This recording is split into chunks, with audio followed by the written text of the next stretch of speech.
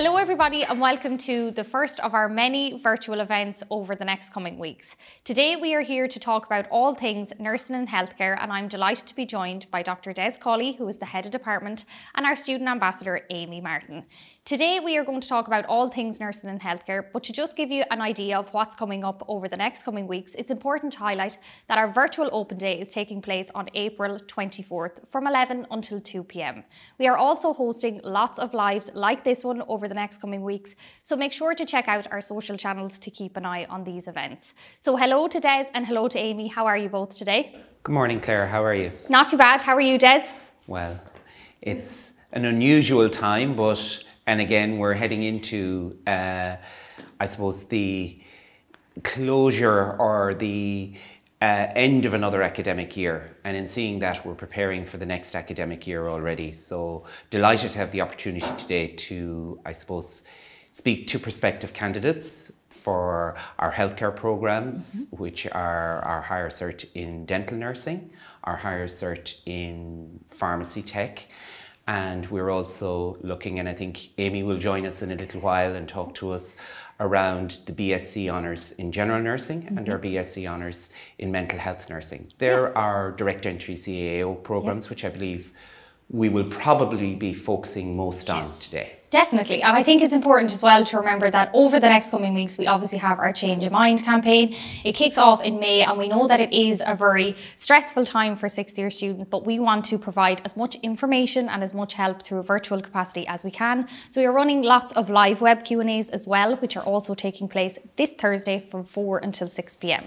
So Des, I know that you've mentioned the array of courses available. So do you want to maybe spotlight, we'll say, okay, we'll start with general nursing with the fact we have Amy here and we can rope her in first. So we'll mm-hmm. start off with general nursing. Do you want to talk to me a little bit about this four-year honours degree programme? Yeah, and I suppose, you know, the honours degree in general nursing is here in AIT since t- 2002. So we have a proven track record.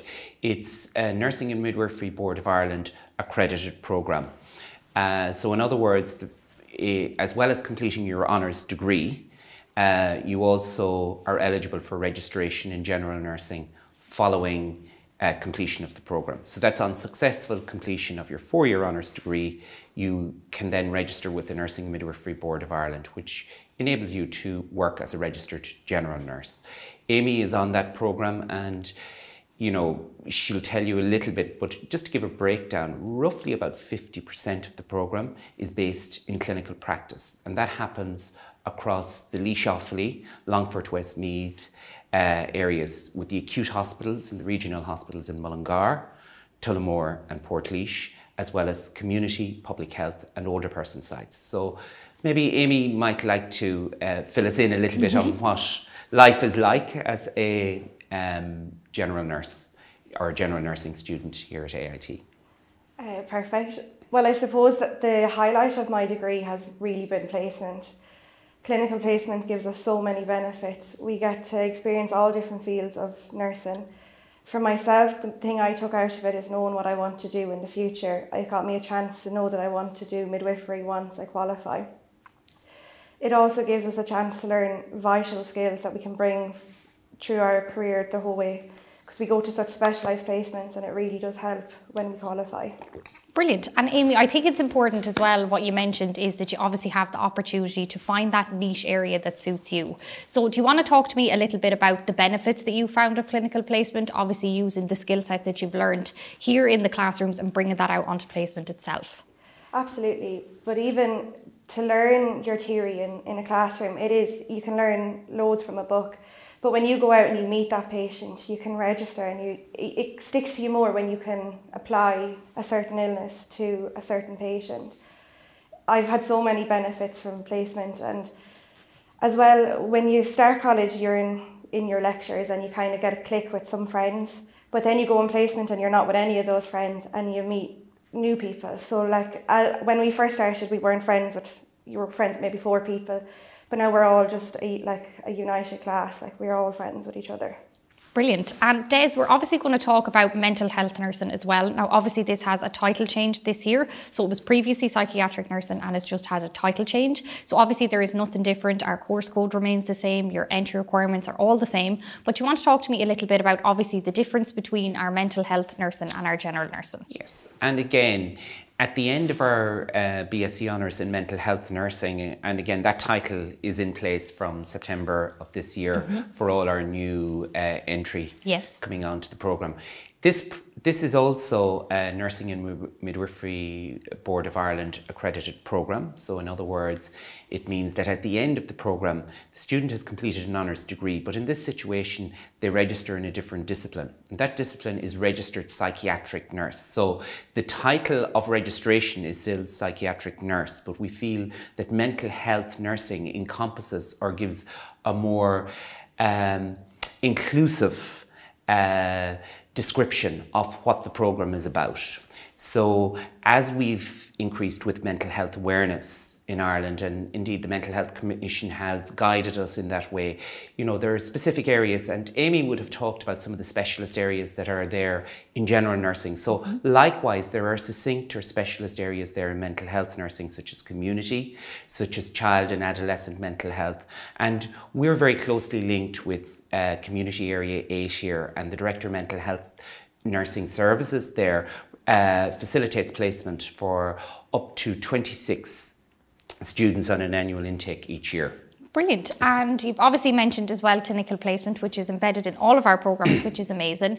But students just have as much of an opportunity to go out on placement as they do within the general nursing program. Is that correct, Des? Yes, absolutely. And again, there's a total of 81 weeks of placement. So up to 50% of the program is placement based. So in year one, there is approximately about 12 weeks. We move into year two probably about 14 weeks, and similar on the general program again, about another 14 to 15 weeks, depending on how the academic mm-hmm. calendar varies. Mm-hmm. So, um, but by the end or before students go into the second half of fourth year, they'll have completed 45 weeks of clinical placement on our mental health nursing programs.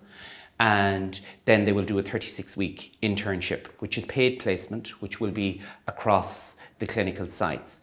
Now, all of our clinical placement sites, again, um, offer that variance or that eclectic mix of discipline specific, but also experience. And I think, as Amy would have said there previously, the experiential learning that happens on placement is really really important so it's it's that life experience that comes through the exposure to placement and the exposure to the clinical environment that allows the student at the end of the day to, I suppose, have that rounded learning experience. And that's what our honours degrees here in mental health nursing offers, as well as what Amy would have mentioned previously on the general nursing programme.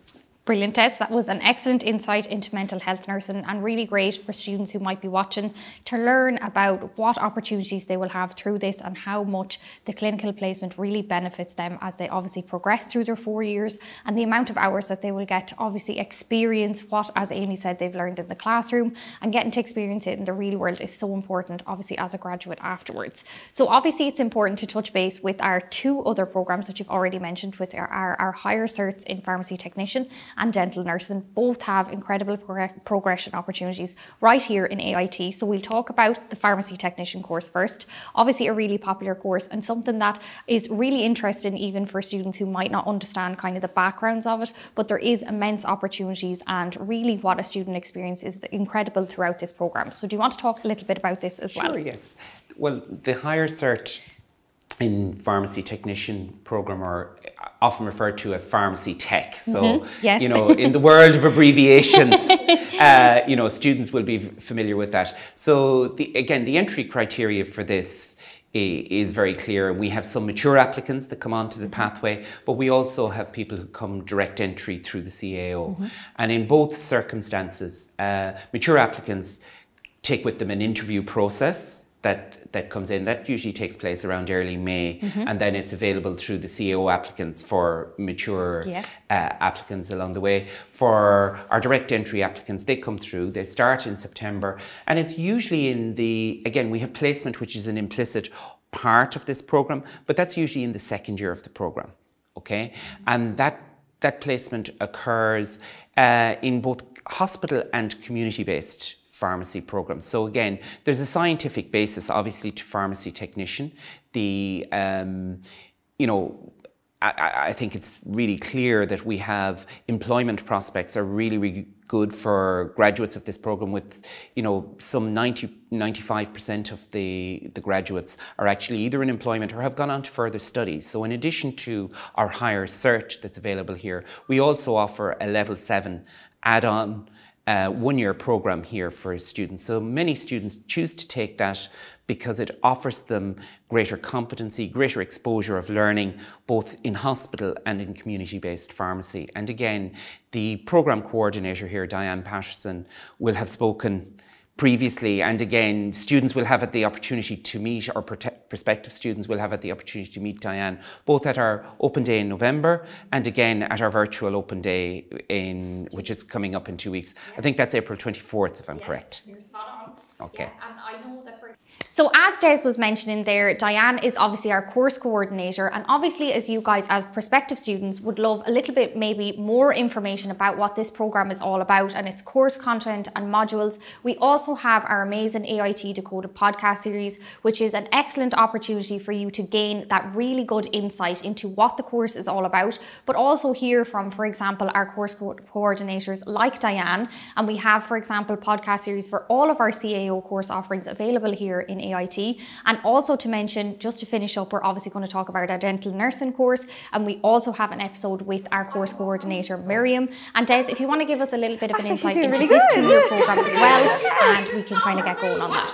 Yeah, and again, I suppose what's, what's important here to, to recognise is that our higher cert in dental nursing is accredited by the Dental Council of Ireland. So again, this is a two-year program which we currently have um, re-evaluated. So we, are at the end of our five-year cycle on this. So as part of that, uh, the program has been uh, completely reviewed in more recent times and will be rolling out again in, in September. So it again has implicit over each semester uh, a placement. Okay, and placements are within dental practices here for it. Um, it's a higher cert program, obviously over a two-year uh, period, and students can progress from this. And indeed, many students do choose to go on to do dental technician or go on to do uh, dental hygienist. And those programs are at level seven, not offered here currently in AIT, but we do, uh, are, and we're currently also um, reinvigorating. Yeah, and the open day was on the 24th. Um, BSc honours, which is in oral health promotion. Uh, and sorry, my apologies, that's a level seven, so it's a BSc in oral health promotion, which is offered. It's a one year add on. It won't be offered in 2022 but we will be offering it uh, going forward again in the subsequent academic years. Brilliant. We're changing the format for delivery on that. Brilliant. So, Des, I think that was an excellent insight into obviously the four programs available within this department. But, Amy, I'm going to come to you just as a student to kind of finish up, and I'm going to get both of your advice on this. But I know that often when students are watching, they just want a little bit of advice from obviously a student and also a head of department. So, Amy, if you were your 17 year old self and making this decision process again, what advice would you give to any students who might be in a similar format to yourself, looking at general nursing or any course? What advice would you give to them listening today? Um, I suppose the advice that I wish someone gave to me back then is really that your hard work does pay off and that school mightn't be for you if you're going straight in but that there is other options and to really look at look at the other options and if you're willing to put the hard work in it really is rewarding. And if you came to 17 year old me and asked me would I'd be in my third year of general nursing, I probably would have laughed at you and said, not a chance. So it really is. If you put the work in, you can you can do whatever you want. You can do whatever you want. Brilliant. And Des, have you any advice? Yeah, I think two things, as well uh, as the learning that happens. And I obviously have to advocate for academic learning. That's my, my job. But I think there's a social learning that's mm-hmm. about college, you know, and we have endeavoured throughout the pandemic, whilst we have gone to remote learning, we've also encouraged that social networking. And that's not what we're talking about networking in general. We're talking among cohorts or individuals because it's that peer support that helps with I suppose, to give you a sense of family. And that's the one thing that we want to say about AIT. You know, having worked in larger institutions, there is a great sense of family. We do have an open door policy here, but we, I would encourage any student coming to AIT to engage with the whole, mm-hmm. I suppose, experience that Definitely. is student life mm-hmm. at AIT, because it's that piece mm-hmm. that really makes college life Definitely. the experience that it is. Definitely. So thank you so much for joining me, the both of you today on this live panel discussion. It was excellent to hear about the array of programs that we have within nursing and healthcare, but also to hear from Amy, our student ambassador herself, about her experience and the benefits that she's had from clinical placement. So thank you both for joining me today and see you in a couple of weeks. Thank, you.